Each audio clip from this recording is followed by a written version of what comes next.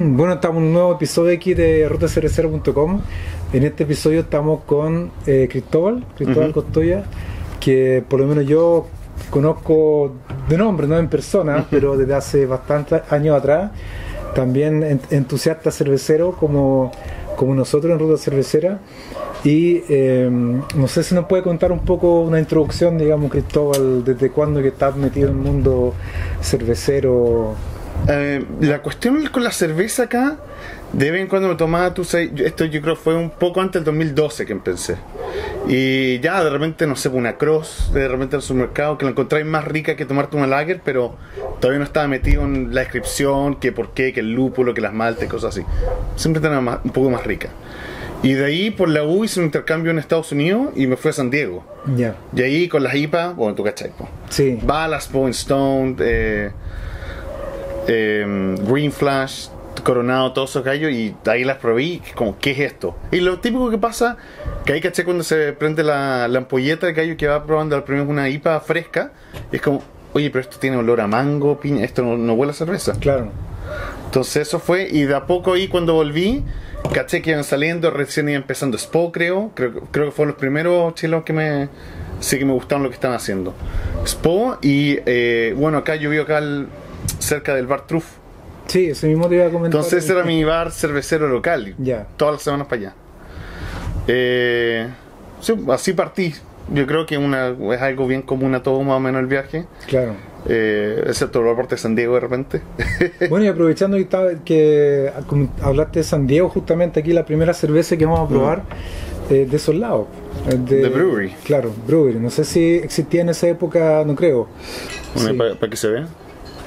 Salud. Salud. Un gusto. Gracias por la invitación. Gracias por recibirme.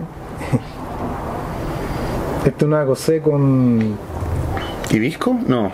Creo uva. que Syrah, uva Syrah y en Fudres. Es como parecido a lo que hace granizo un poco. a mí el verano me encantan las cosas. ¿Sí? pero lo más refrescante que hay. Uh, ya, se, nota mucho Syrah. Sí. Bastante vinosa. Qué rico. Está bien. Está bien como chilena la, la cerveza. Digo yo por el será, por el vino. Sí, eso es lo que más. Porque cuando me. Yo me fui acá a Inglaterra el 2017. Ya.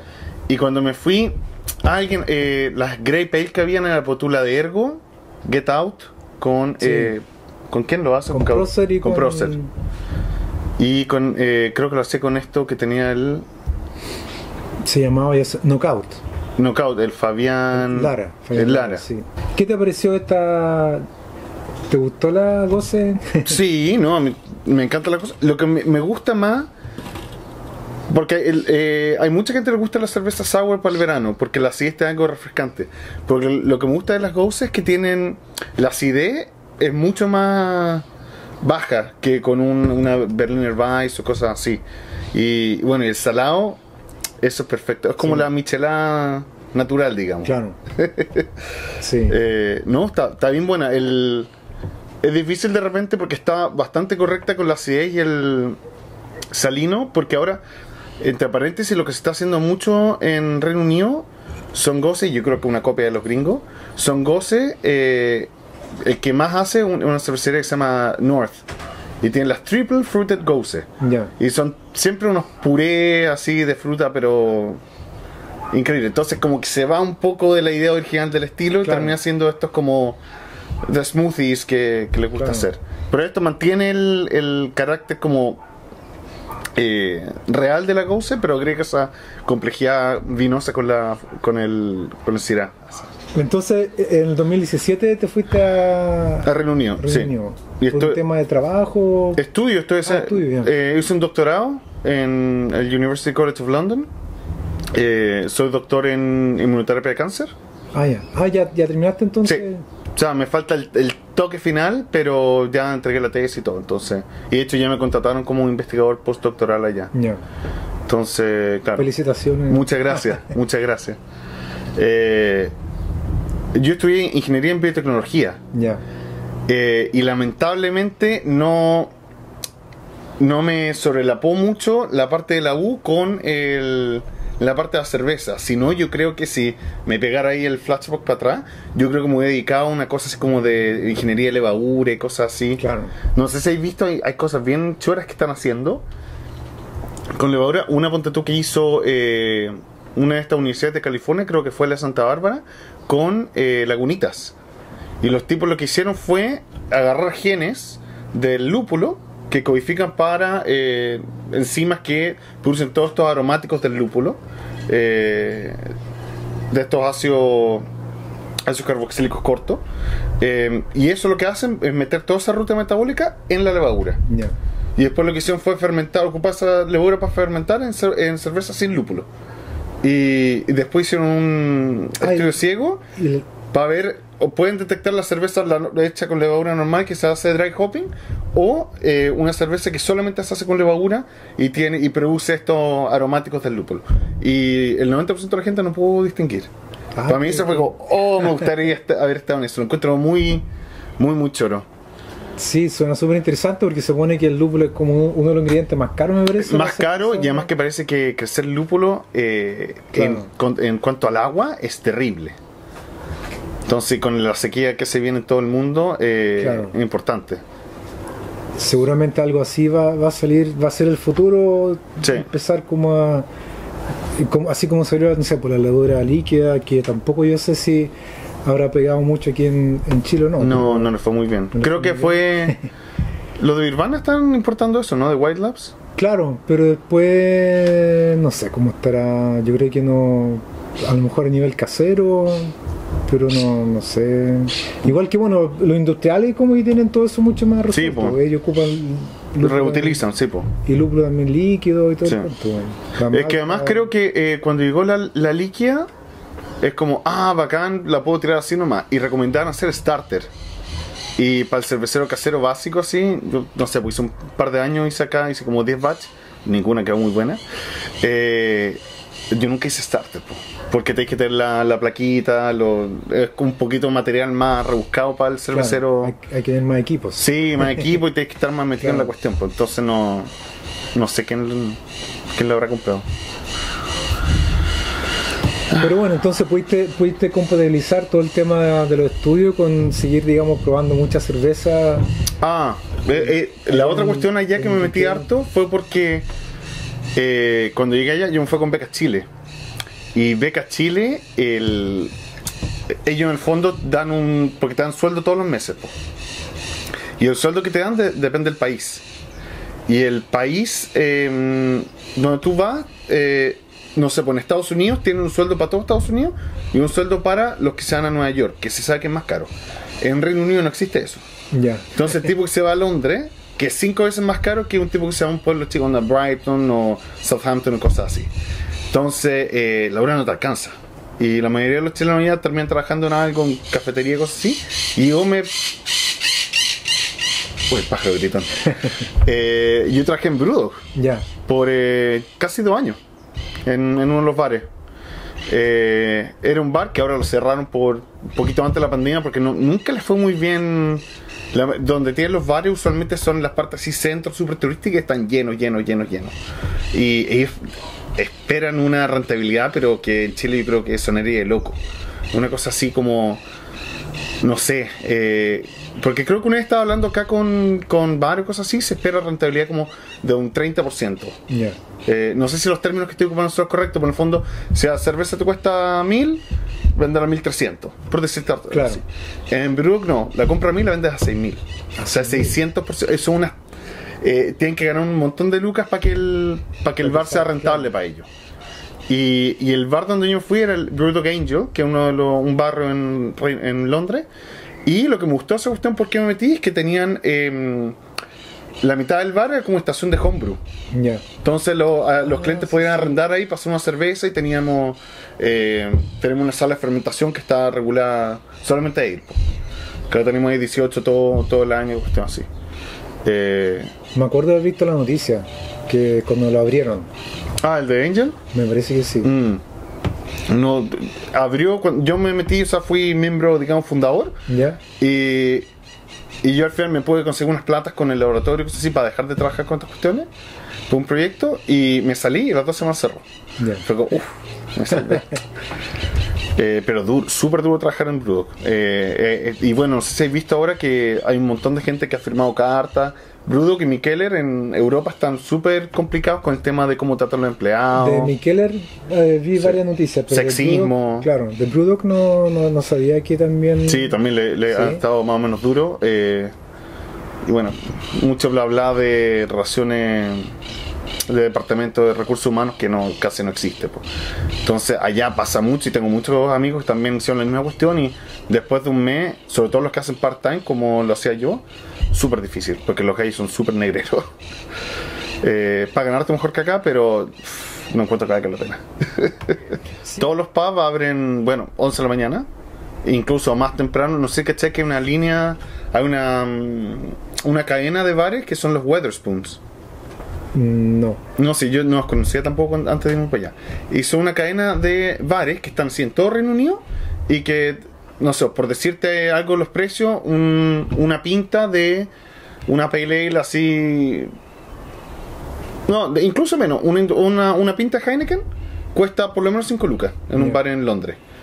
Eh, y en esta cuestión, ven, casi todas las chelas cuestan 2 lucas la pinta, ponte tú. Eh, no, ahora le ha pegado un poco el tema de Brexit porque el, el dueño de esa cadena es como sí, super, super de Brexit y afuera lo, lo extranjero y cosas así, entonces ha tenido menos. Pero esa cuestión ahora a las 9 de la mañana y veía a los viejos a las 9 de la mañana poniéndole. Ya.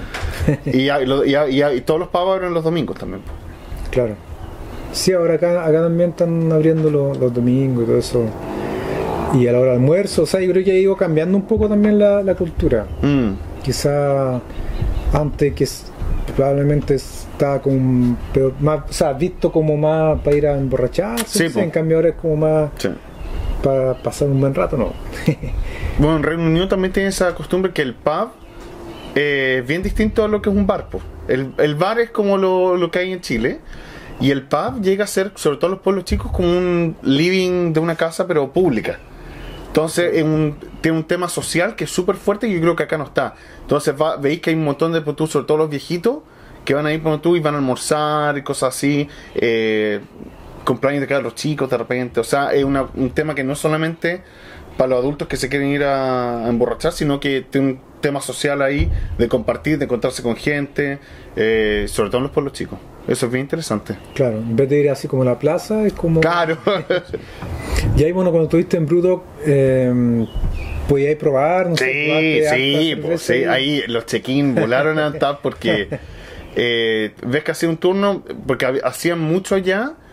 Eh, tiene la línea clásica, digamos, que ahí está la Panquipa, la Red Ale que tiene, la Stout, todas esas cuestiones.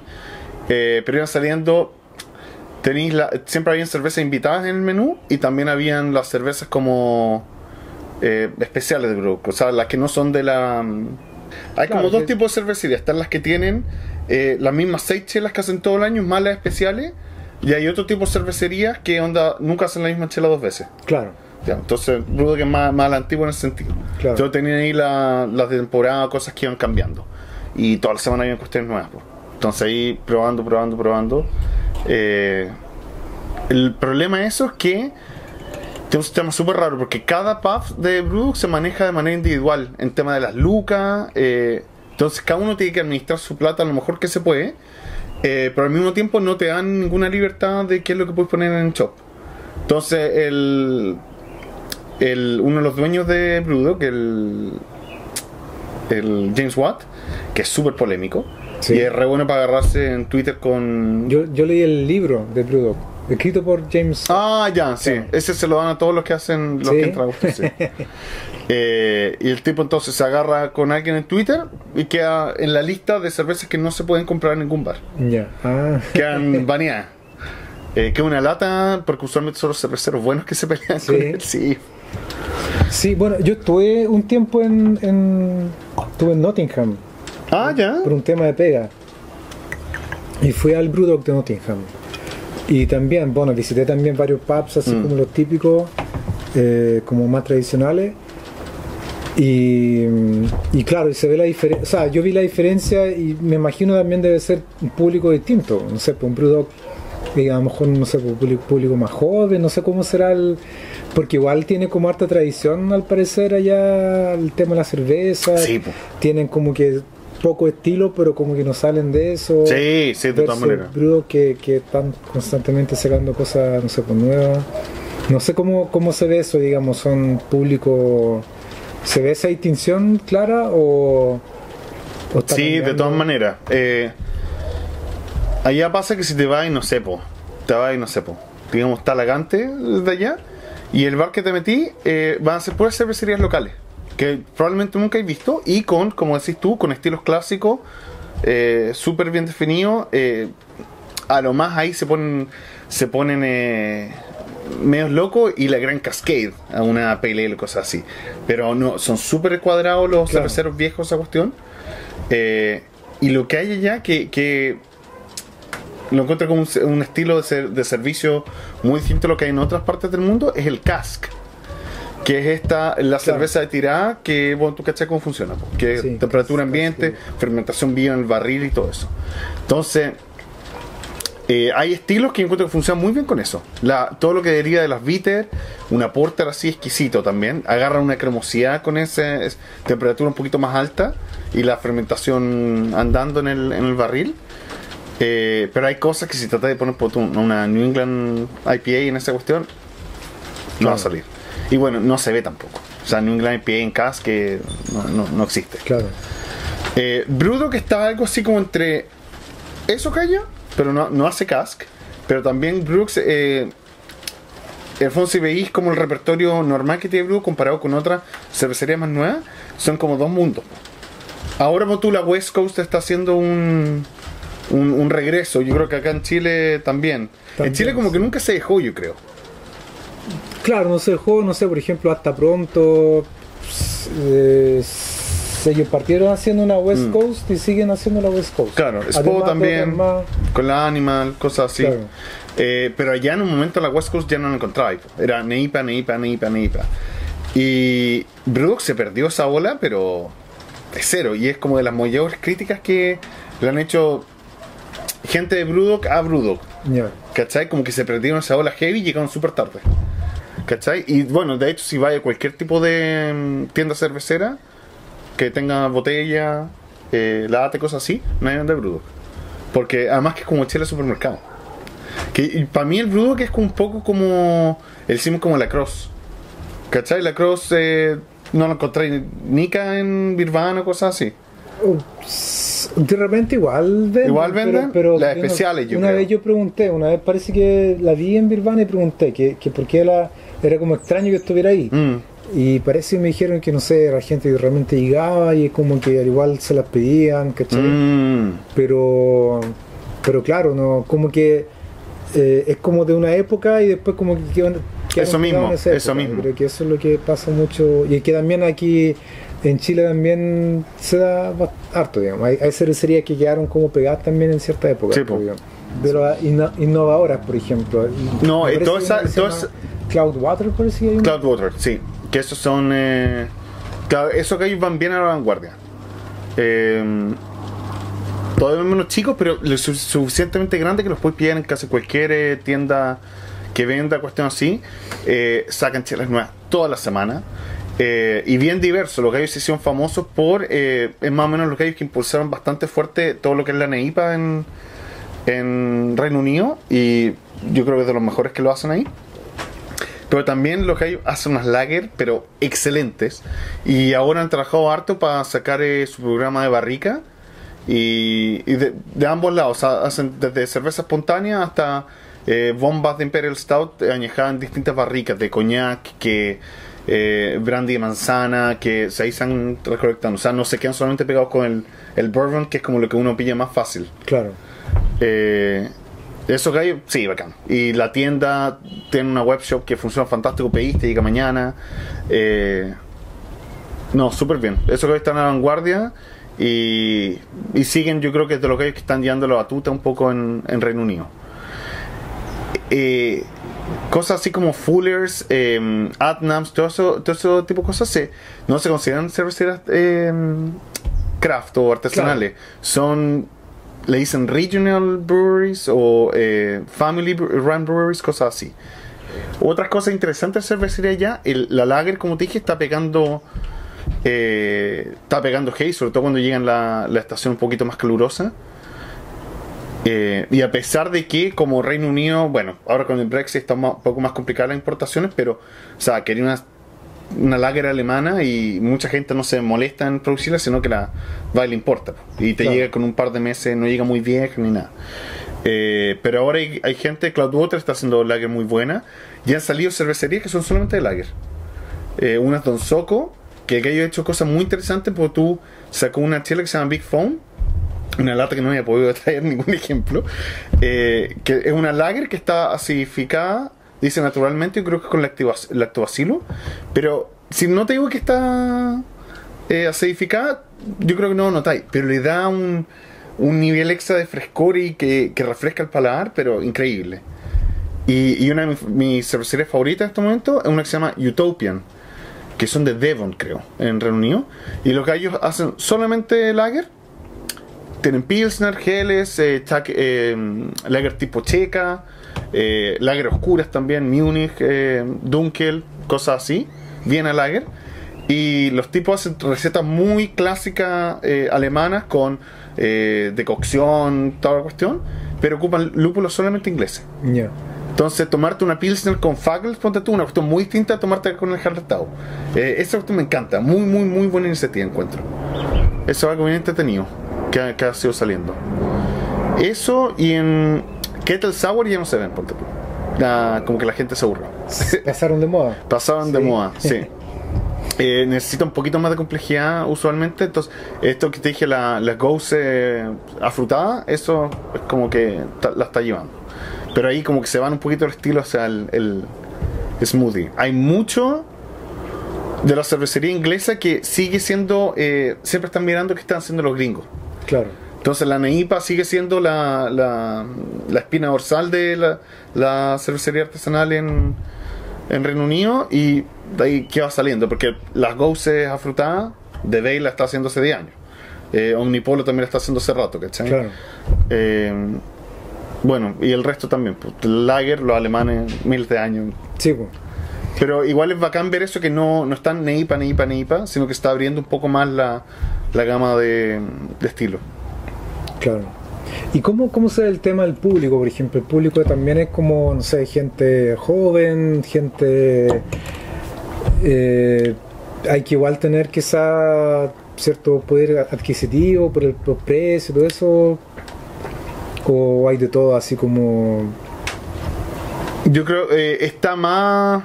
Está menos estratificado como está en Santiago, que en el fondo tú vas cualquier bar cervecero y tenéis entre 20 y 30 años, yo creo que el 90% de la gente. Claro. O yo creo que igual llegando a los 40, entre 20 y 40. Allá, como te dije, el pub, eh, sobre todo en las regiones, sí llega mucho adulto mayor o que van los, la familia con los hijos, cosas así. Si te metí un Brewdog, eh, ahí ya empieza a ser un poquito más joven, pero no tampoco los que están en la universidad, porque es muy caro. ¿Cachai? Porque ahí no, no salí, no te compré ninguna chela con menos de 6 lucas. Claro. Entonces, si andáis corto de plata, no. Eh, sí, por eso, bueno, hay mucha gente que prefiere como el pub más clásico nomás y. Y bueno, también hay gente que no. La lager a mí fue unas cosas que me impresionó, que yo dije, aquí nadie va a tomar lager. Todos los pubs tienen la estación de, de Heineken, lo que más domina, pero también pillé las típicas, la Estela, eh, y un par de otras marcas que, no hay acá, pero... Y eso usualmente domina porque son las más baratas. Sí, está como piolita ahí el...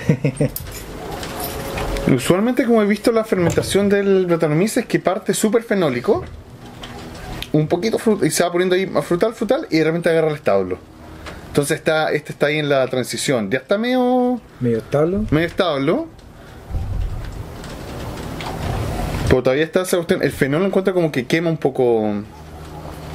Sí, no está como muy distinta de hace un año, año atrás. ¿Ah, pero, pero está mejor. Está mejor que hace un año atrás. Yo me acuerdo que la probé. y le sentí también un poco así como de vegetal, pero, Ah. ahora, pero ahora está como más, más- mucho más equilibrada Sí. que hace un año atrás. Entonces las cervezas con Bretson te gustan, Me encantan. sí, Sí, me encantan. Eh, lo único malo es que hay que tener paciencia. claro, Son cervezas súper... Pero allá es súper fácil conseguir el Orval. ya. Que acá en Chile creo que no llega mucho. No, no llega y cuando llega al tiro se, El tiro se va. Sí.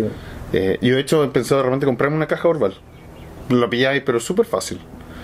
Eh, yo creo que la saqué como a dos lucas eh, sola. Entonces la caja yo creo que las puedes llegar a sacar un 1500, una cosa así. Y siempre compro a cuatro, cosas así. No me aguanto. Porque lo ideal sería mm, dejarlas, no sé, por unos 2, 3 años. Claro. Además que eso igual tienen eh, tienen su propio como vintage parece, ¿no? Tienen, una La Orval, sí, no, la Orval. me parece. Y te, te dice la fecha de embotellado. Claro. Siempre. Entonces, de repente me ha pasado que, no sé, pues compro cuatro, y las dejé seis meses, dije, ah, puedo comprar otras cuatro, y me llegan y ya no son las de hace seis meses. Eh, un batch de hace dos semanas. Una lata. Pero hay un bar, fue un festival de chela en Antwerp, en Bélgica, justo antes de la pandemia. Y hay un bar ahí que se llama Culminator, se llama el bar. Y es una pareja de. Deben tener 80 años. Una pareja nomás. Y el bar es su casa. Y tú vas ahí, tiene una contraseña para entrar. O sea, no una contraseña, pero eh, tú tocas el timbre y que sale. Eh, ¿qué, qué pasa? Y, y, y la forma que uno tiene que probar, eh, que decirles como, por favor, queremos ver si, fuera tan amable, queremos probar algunas cervezas. Ya pasan. bueno, es legal y todo, pero es como, es, eso lo tienen, yo, yo creo, como para espantar a los gringos ya. que ahorita llegan los gringos curados, cuestión así. ¿Qué quiere? No, que venimos a, a chupar. No, no. Claro. Y tú vas ahí y veis que el, el bar completo son, pero botellas y botellas y botellas y botellas, botellas, botellas, botellas. Tiene cinco mesas, así, súper Ya. chico. Te traen el catálogo. Es así, así de grueso. Y tú metí Orval. Orval, 2021, 2020, 30 años para atrás. Pero sin ningún problema. Con muchas chelas así. Sobre todo como las clásicas belgas. Puedes pillar chelas hace 30 años. Nos toma, y no muy caro. O sea, por decirte, si la Orval nueva costaba 2 lucas, creo que tomamos una de 10 años por 3 y medio. Ya. O sea, ¿cachai? Por el, Sí, pre- el precio de añejado, nada. Y probamos, de hecho, una, eh, una lambic con frambuesa de una la- lambiquería que ya no existe. Y es del 89, un año antes que yo naciera. Ya. Sí. Media rara la lambic porque tenía un poquito como gusto yuppie. Entonces, si con 30, 30 años de fermentación debería estar seca. Claro. Capaz que no lo embotellaron con levadura, cosas así. Claro. ¿Y ahora qué se viene? ¿Tú ya te vayas a radicar allá? ¿Cu- ¿Cuál el- ¿Cuáles son tus planes? No sabes todavía, porque igual No sé todavía. estás viviendo allá en el fondo. Sí. Eh, claro, estoy viendo ya, mi polola es griega, pero ella es residente de Reino, Reino Unido, así que de momento allá. Y bueno, ya acabo de empezar una, un, un trabajo en la universidad de postdoc. Entonces de momento sigo ya. Y bueno, hay que terminar todos los proyectos que tenemos parados con COVID, que ya la universidad estuvo como un año cerrada. Y entonces estamos súper atrasados con eso. Pero ahora 120 mil casos de COVID todos los días en Reino Unido y las cosas están bastante abiertas. Sí, me imagino. Serán- Es que allá igual no hay pase de vacuna, de pase de movilidad como acá. Entonces, como que la mitad del país nomás está vacunada. Y no porque falten vacunas, están llenos. La gente no se vacuna, no, no quiere Claro. Entrar antivacuna y que no cree, que piensa que es un resfrío más, cosas así. Y además que tuvimos ese lockdown bien pesado, donde cerraron todos los bares, todos los restaurantes, cosas así. Y cuando salió lo llamaron el Día de la Libertad. Y, y yo creo que ya no va a costar mucho que metan un lockdown de nuevo porque al gobierno le significó mucho en la opinión pública eso. ¿Cachai? Como los tiranos que nos tienen Claro. encerrados, cosas así. Tenemos para rato esto. Sí, aquí parece que somos mucho más obedientes. O sea, acá donde he visto, incluso a gente paseando en la calle, que no sé si se requiere acá andar con máscara, mascarilla. sí. Yo eh, eh, de repente salgo a caminar cerca de mi casa y una vez me un tipo andaba en su perro y me mostró así que, que andaba porque me saco de repente la mascarilla Sí. cuando estoy afuera pero sí afuera también hay que andar con mascarilla O sea, yo me fijo, todo el mundo anda con mascarilla y sobre todo en lugares cerrados. Eh, allá nada, nada. O sea, en la, en la, en la calle Olvídate eh, y en espacios cerrados, o sea, los pubs no. Lo- los restaurantes, no. Eh, los colegios no sé cómo están dando ahora. Y en la universidad, el problema que tenéis con estas cuestiones es que, aunque sean bien estrictos con, con la mascarilla, eh, tú al momento que tú te puedes comprar un- una botella de agua, tú tienes la- el agua ahí, tú estás tomando agua, por lo tanto puedes estar con la mascarilla abajo todo el rato. Y hay gente que se aprovecha de eso cuando se ponen pesados con la con la, la regla, hay gente que hace eso no. Entonces, Claro, igual aquí piden el paso de movilidad sí, para entrar. Por ejemplo, en casi todos los bares piden. sí. Que lo encuentro, pero fantástico. Sí, pues. Pero también hay gente que de repente se puede conseguir eh, a, la, a la chilena nomás, que, eh, porque en el fondo es un código QR nomás, Sí. nadie, pues, de repente también revisan el carnet de identidad. Hoy día me, me pidieron carne de identidad. Tu vuelta a Chile en estos tres años, parece, ¿cierto? Sí. Tú dijiste que Sí. eh, en cuanto a la parte de la cerveza, ¿has visto algún cambio? ¿Qué, qué, qué te ha parecido la... ¿Has visto alguna evolución? Eh, bueno, yo cuando vine hace tres años recién estaba saliendo Tamango, cosas así, eh, que eran como los más establecidos con la Hazy IPA y todo. Y, y ahora eso está mucho más establecido. Sobre todo cuando yo me fui hace cuatro años, ahí la Hazy IPA, como hablamos antes, está hasta pronto, eh, Claro. cosas así, pero ahora ya como que llegó de lleno. Y me sorprende la cantidad de cosas con uva que hay ahora. Lo que hablamos antes, que antes había una Grape Ale, ahora Claro. está lleno. Está lleno. Eh, me, me llevo con mucha. Me ha gustado mucho lo que ha hecho Granizo también. Con todo el tema de las barricas que se han, que se han conseguido en hacer estilos nuevos, han hecho cosas con fermentación espontánea o, o, o cuestiones con, con ingredientes medio raros, o sea, todo lo que han hecho con Alerce. Eh, todas estas colaboraciones que han tenido con, con cervecería gringa, como la que hicieron por tú esa Imperial Brown Ale con Three Floyds, que era con avellana eh, chilena. Buenísimo. Hacer Sí. algo así con. Que en el fondo eso no lo puede hacer en ninguna otra parte. Eh, bueno, ver también cómo hay, hay, hay cervecerías que se han mantenido en el, en el tiempo, como, no sé, como Spot, Mango, eh, Tubing, cosas así. Hay otras que han ido desapareciendo. Barut creo que cerró ahora. Sí, creo que sí, claro. Sí. Y hay otras que han, han ido saliendo. Procer, ponte tú, que me sonaba, pero creo que yo nunca había comprado nada de ellos. O había probado esa la Grepe que habían hecho. Y ahora las pillaba con lata y todo. El enlatado es una cuestión nueva, pues. Eso hace Sí. tres años, creo que Tamango nomás lo tenía. Sí. Si no, si ahora el- justamente el año, bueno, este año, desde el, desde el año pasado, a este, está, está- todos están enlatando y comprando las máquinas para enlatar y... Que a veces están más baratas que antes. Antes te salía la mitad de la cervecería. Sí, claro. Y ahora, sobre todo, cuando- si lo puedes hacer medio colaborativo. eh, Claro, y había cervecería también que no querían por, por el tema de la carbonatación, que se pierde mucho, por la, por las máquinas que las más baratas, enlatadoras, creo que ah, no eran muy ya, eficiente. claro, eficientes, entonces duraba muy poco tiempo y, y al final era como un crawler. Mm. Claro. y eso, claro, entonces por eso prefieren seguir con, con botellas, por ejemplo, Intrinsical. Sí, he visto que puro. Sí. Ellos como que siguen nomás con las botellas porque todavía no se han cambiado las latas y que Ahora vi que Ergo tenía una de las latas de la Scottish que hace. Esa tiene Claro. lata. Y la que hicieron con The Fucking Project, Claro, la Wheat Wine. Esa también la tenía en lata. sí, Pero- esa estaba buena. Bacán. O sea, yo creo, la lata del futuro. Sí. Sí. ¿Tú no, No. te gusta? No, sí, sí me gusta, pero no para todas las cervezas. pues. O sea, Ah, no, no, que- no. Cosas de guarda Claro. siempre van a ir en. Sí, podrían estar en botella, le dan como otro otro toque. pues. Sí, no, de todas maneras. Y ahí no sé si te aguanta eh, que de repente ha pasado mucho con cervecerías que han querido ser como cervezas con fruta sin pasteurizar y cosas así. Y pues tú te dicen, manténgala en frío. Porque en el fondo, como no están pasteurizadas, el momento que agarra un poco de calor empieza a fermentar y de repente termina con el chancho y explota. Sí, Sí, eh, ha pasado mucho. Una, una en Estados Unidos, eh, 450 North. ya. No sé dónde son, pero eso que hay son secos. to- todas las cervezas que hacen es, es como una Berliner Weiss con puré de, de fruta sin pasteurizar. Ya. Y las tienes que mantener en frío. Y hay un montón de gente así, oh, me sacó el ojo, cosas así. Sí, Peligroso, capaz, me- no sé la, la, la física ahí, porque capaz que las cervezas pueden aguantar la carbonatación esa bien fuerte, la pueden aguantar mejor. Bueno, esos también son casos que nunca tienen que pasar. pues. Jamás Claro. de fermentar eh, fruta. Qué loco. Claro.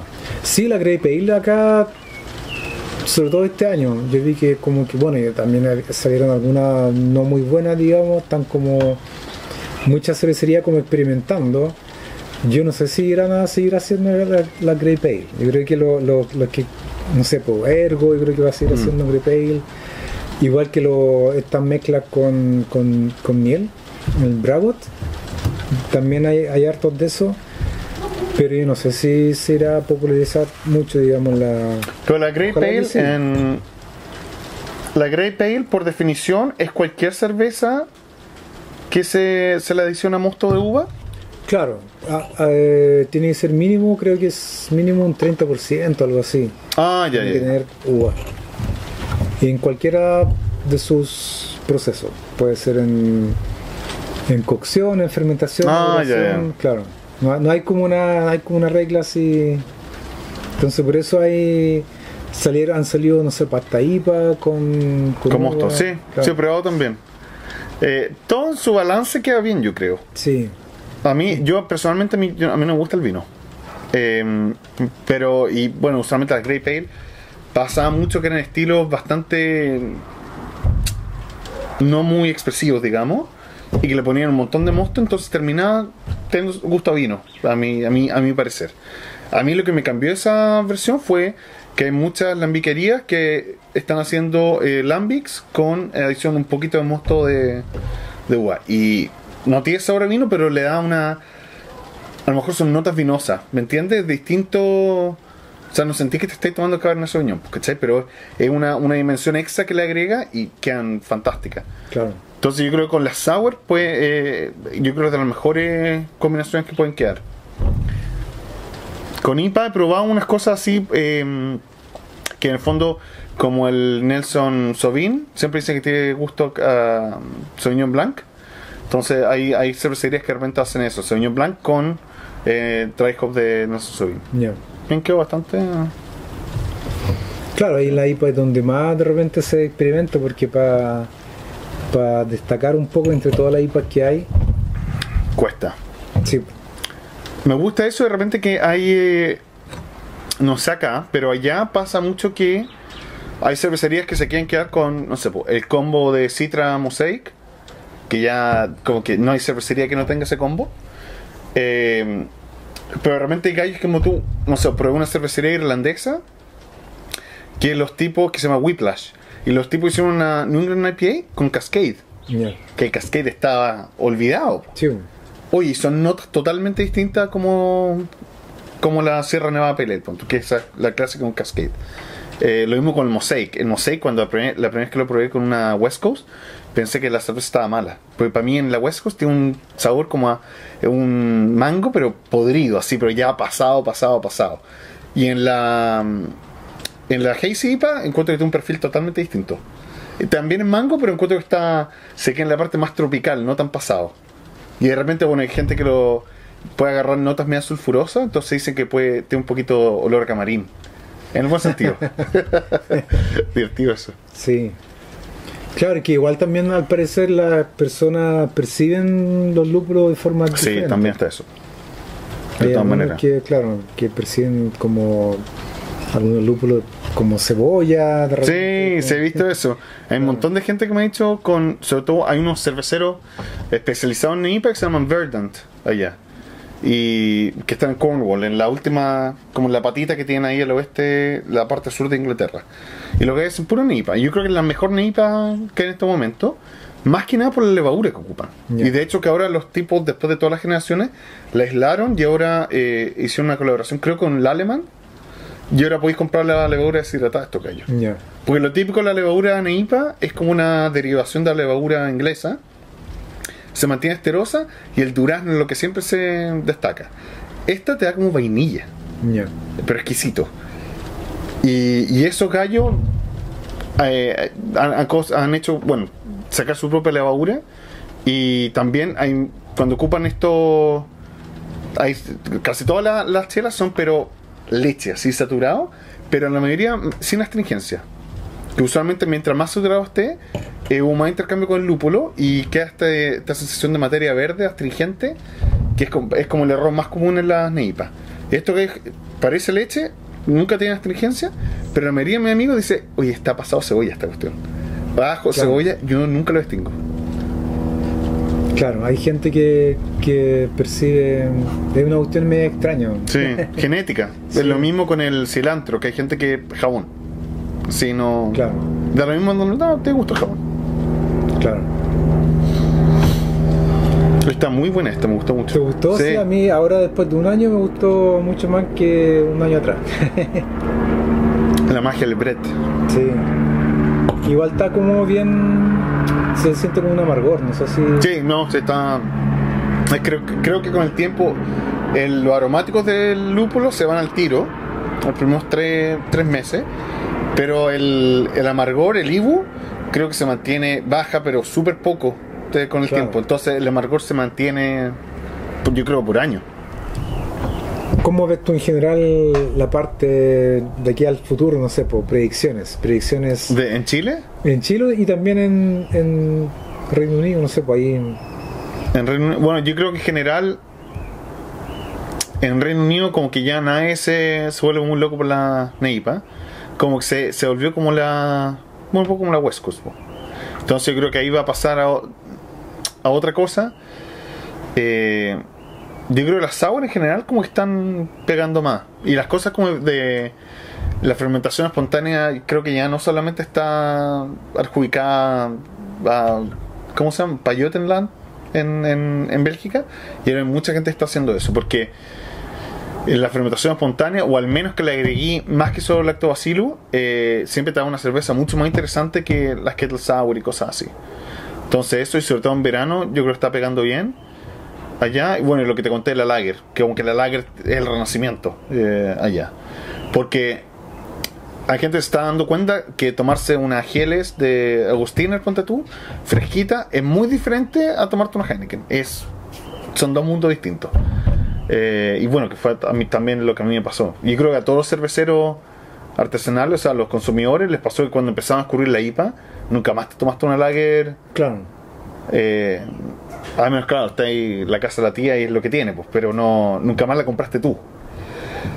Eh, por eso, acá en Chile he visto que ahora están, hay más gente haciendo barrica, pero también hay gente, eh, los que no tienen barrica están haciendo también, están apostando por la sour, ocupar eh, ingredientes un poquito más de nosotros.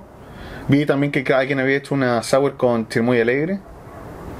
Seguramente, no sé. A, a la no- mía puede haber sido. Creo que también hizo una, una de fan shop Claro, Fanchop lo la, y la de terremoto. Sí, Eh, Terremoto Neipa, algo así se llama. Sí. El 18. entonces, esas Sí. cosas, eh, si al final esta cuestión es la innovación. Y de repente, copiar cuando hay que copiar y otras veces tienes que encontrar tu propio camino. pues. Yo creo que eso, como que la Neipa le queda un par de años, se va a quedar, pero hay otras cosas que van a empezar a dominar más el, el, el mundo cervecero. Y, y en Chile, bueno, siempre está un poquito más detrás que los gringos, los- entonces se van a ir adaptando de acuerdo a eso. Porque tengo que encontrar que el, el mundo de la Hazy IPA está como su pica ahora en Chile. Eh, ¿Han habido más antes o O sea, yo he, visto que están haciendo más West Coast IPA se volvió? por, por algún motivo, no sé por qué. Eh, pero yo creo que sigue todavía la GIC IPA. Pero yo en realidad, o sea, yo estoy como más pendiente, no sé, de la Grape Ale, de repente la cerveza que tiene un po- algo de miel, por ejemplo, Mm. cosas así.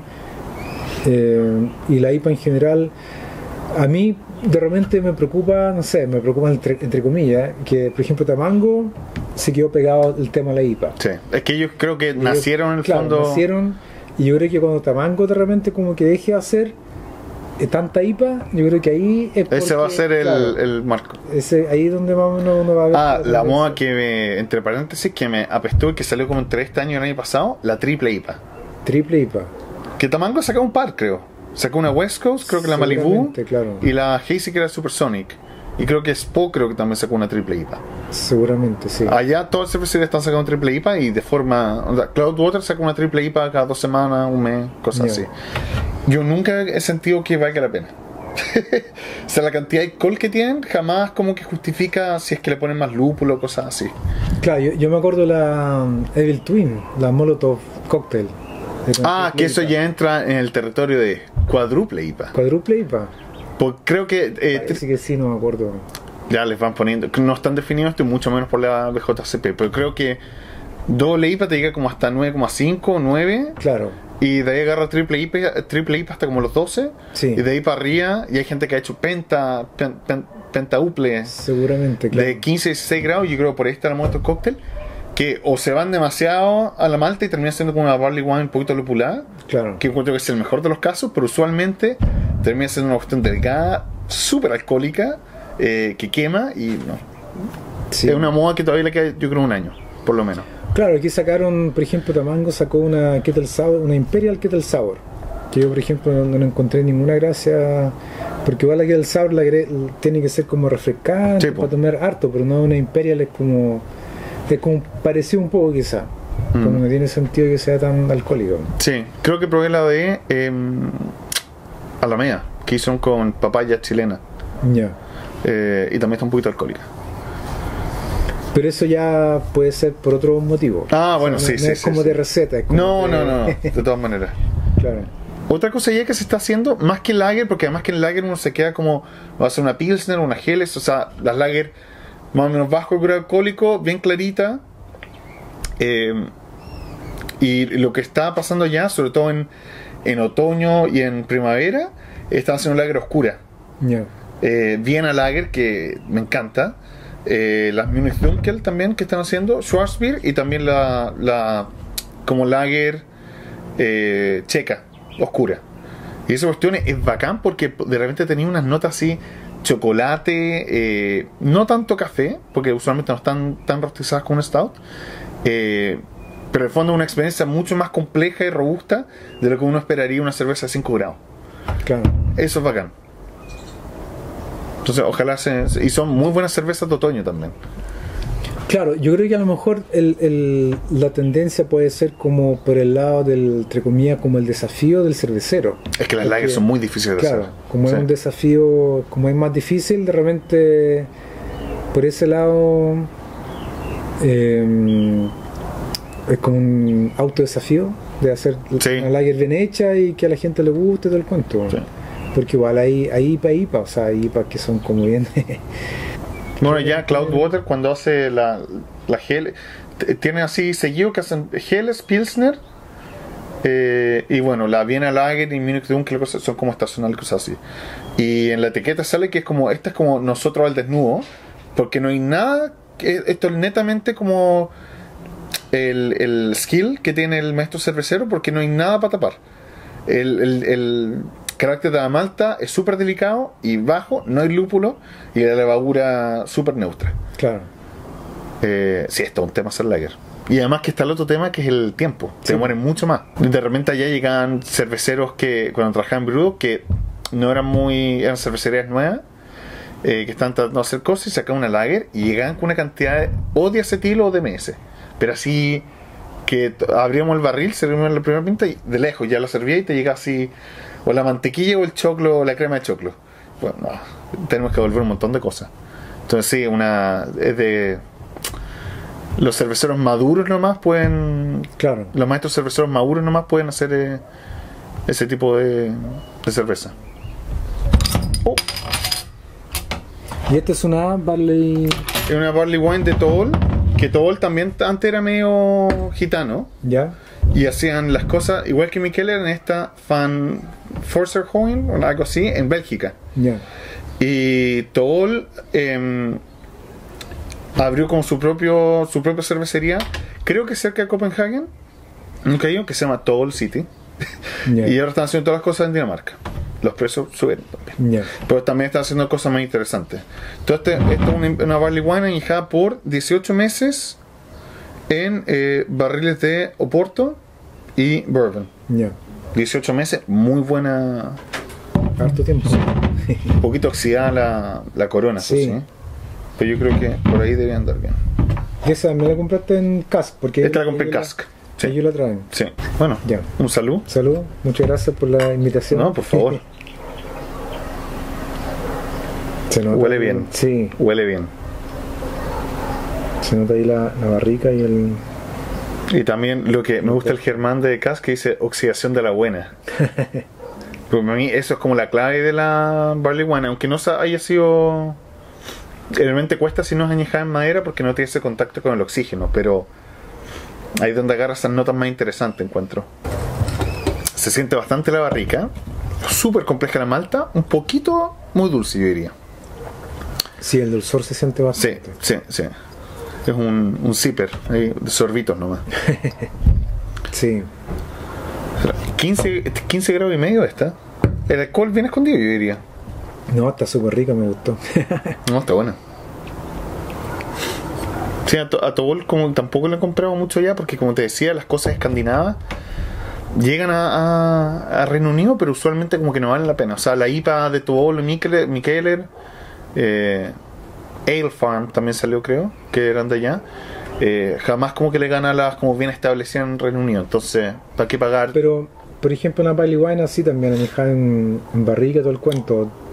De allá, ¿de qué, cuál cervecería? Eh, Cloudwater.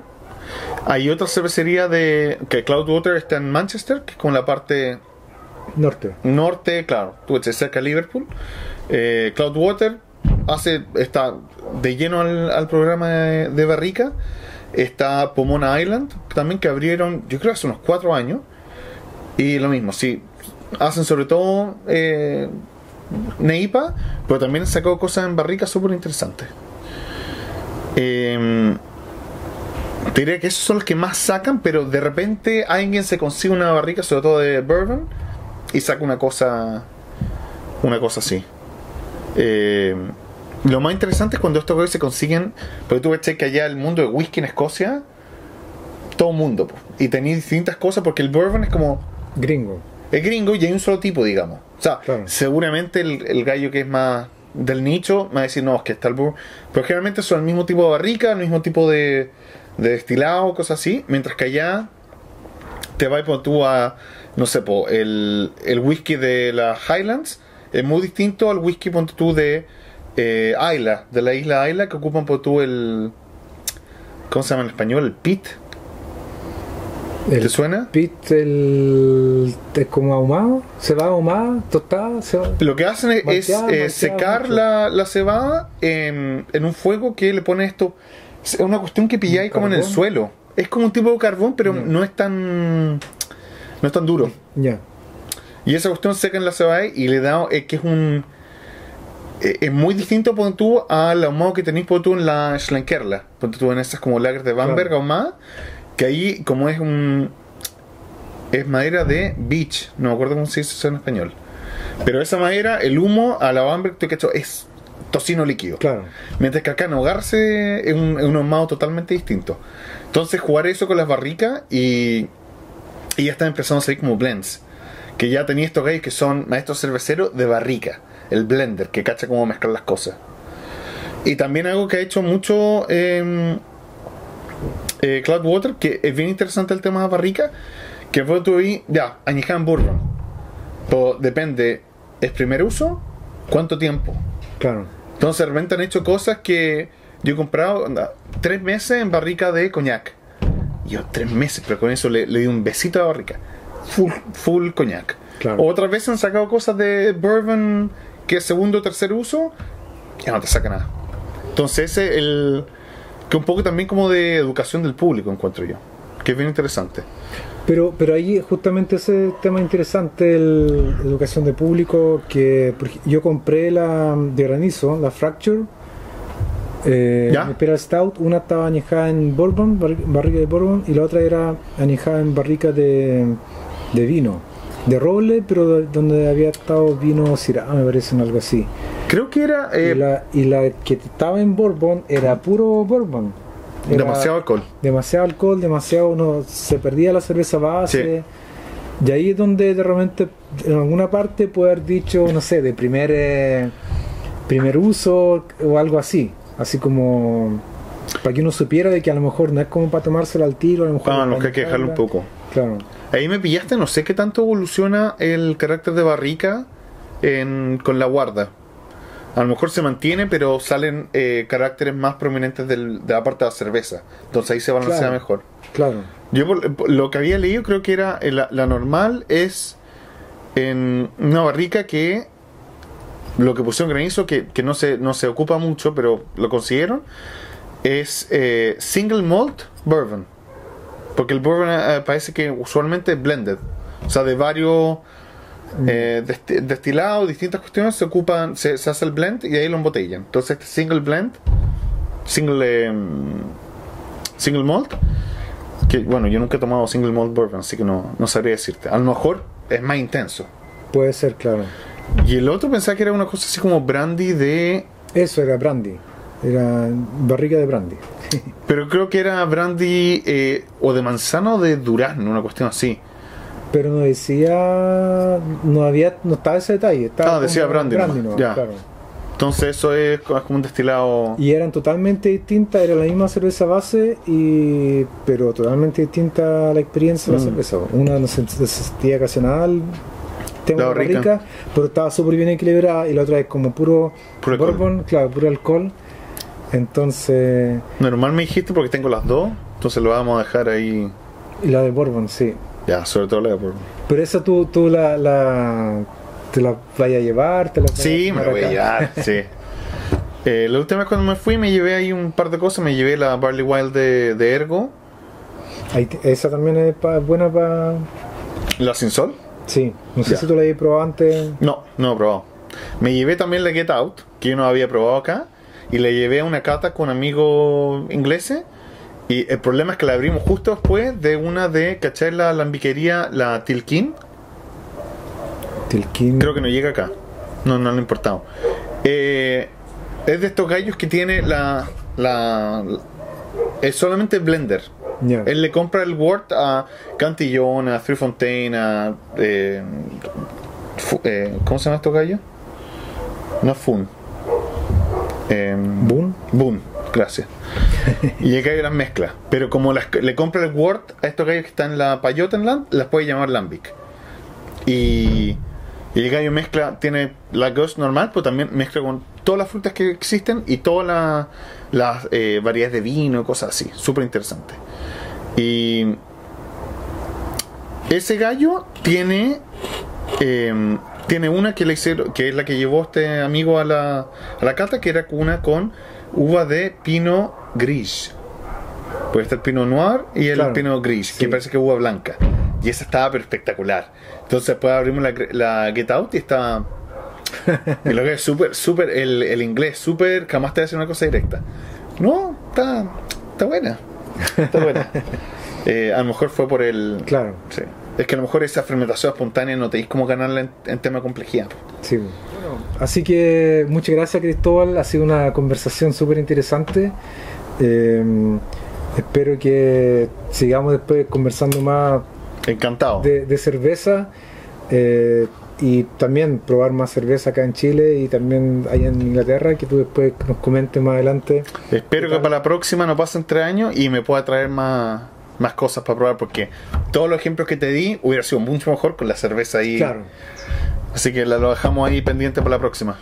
Ya, pues muchas gracias. No sé si algunas palabras finales, algo que quiera como para terminar.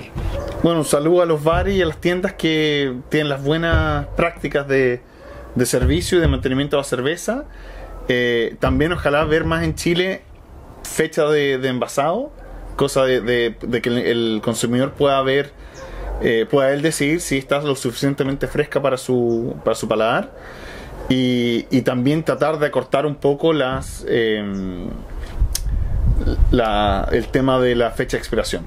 O sea, una cerveza IPA, que muchas veces que en Chile de repente veo con un año de fecha de vencimiento, estas son prácticas que ojalá no veamos eh, tan frecuentemente en el futuro para mantener el perfil que el cervecero, el maestro cervecero, tiene pensado que es como la cerveza tiene que salir. Y bueno, y muchas gracias por la invitación. Gracias. El último salud. Muchas gracias.